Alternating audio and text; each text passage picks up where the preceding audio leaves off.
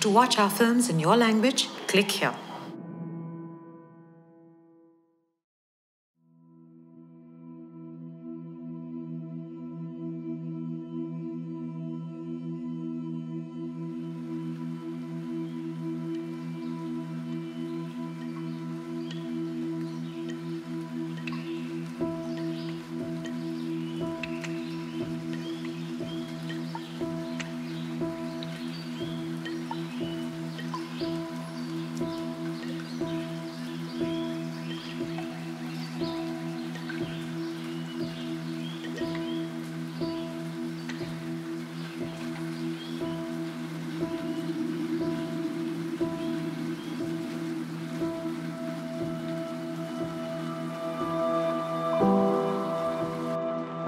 તારીખ તેરા આઠ સત્યાવીસ નંબર એ zero three seven six nine. Chiranjeevi Sarla. તારો કાગળ મેળો. તું ડાય છો. સમજુ છો. હું તને મારી પાસે કેમ બોલાવતો નથી? ધીરજ રાખી નવી તાલીમનું પૂરું કરજે ખૂબ પાવરથી થા. એનું છાપામાં તો વાંચતી હશે. અત્યારે મોટી ભીડમાં આટલું લખી શક્યો છું. બાપુના આશીર્વાદ.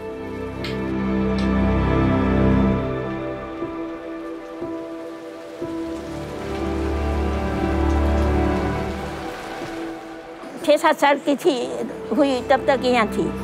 इसके बाद नहीं रही।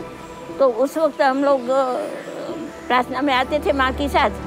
उस वक्त बापू के साथ साथ प्रार्थना में जाते थे, आते थे। और प्रार्थना के बाद भी बापू बच्चों के साथ कुछ बातें चीतें करते तो हम भी हँसी मज़ाक करते थे। तो ये अच्छा लगता था। और कभी इतवार के दिन यहाँ खेलने के लिए भी आए थे, आश्रम के बच्चों के साथ खेलने के लिए आते थे।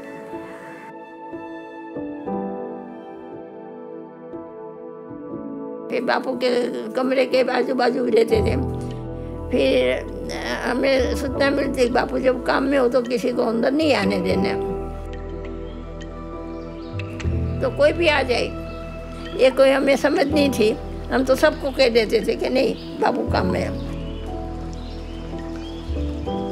जवाहरलाल जी आए, अंदर जाने लगे तो मैंने कहा, रहने दो, अभी अभी नहीं जाने का। फिर बापू ने अंदर आवाज़ दे के कहा कि नहीं जवाहर को आने दो। जब बापू की किसी से बात पूरी हो जाए, वो बाहर आ जाए, इसके बाद दूसरे को जाने का। ऐसा सामान्य नियम नियम था। कस्तूरबा, हमारी माँ के बराबर थी। जैसे हमें, हमारी माँ को मानते थे, ऐसे ही हम कस्तूरबा को मानते थे। कस्तूरबा के पास तो हम लोग तूफ़ान मस्ती करते थे तो कस्तूरबा में रोकते थे पढ़ाई करो। सारे दिन जब पढ़ोगे नहीं तो फिर आगे चल के क्या करोगे?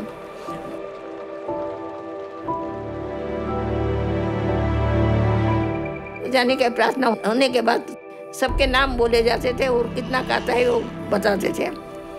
तो मैं भी उस वक्त बराबर काटती थी।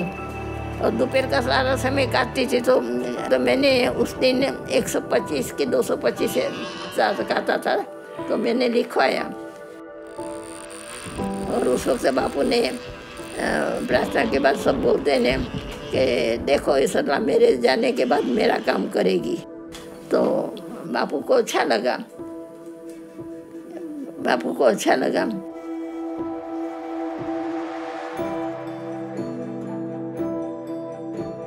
तो वैसे कभी देरी होती नहीं है बापू को। लेकिन वो चर्चा ऐसी चल रही थी तो वल्लभ भाई को जवाब देने में उनको थोड़ा समय लग गया तो एकदम खड़े हो गए। चलो चलो, आज तो देरी हो गई।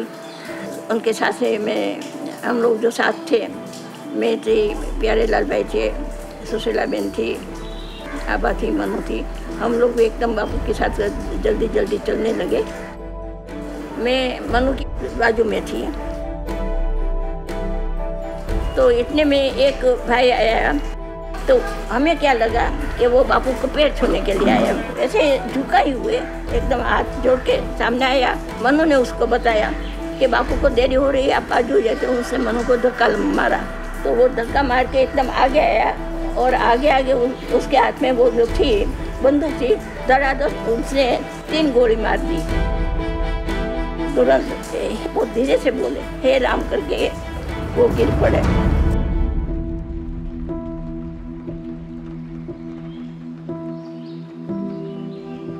बापू ने जो सत्य और अहिंसा के द्वारा लोगों का जीवन बनाया वही जीवन हम आज जी रहे हैं